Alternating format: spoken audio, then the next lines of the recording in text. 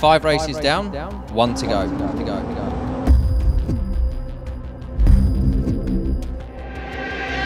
It's been a fantastic season.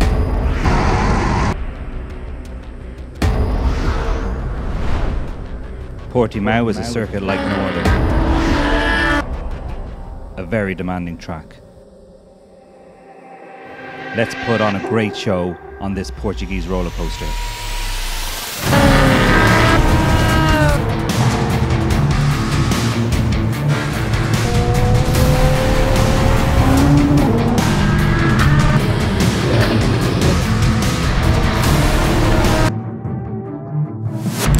There is no better place to fight for the title. No calculation, flat out.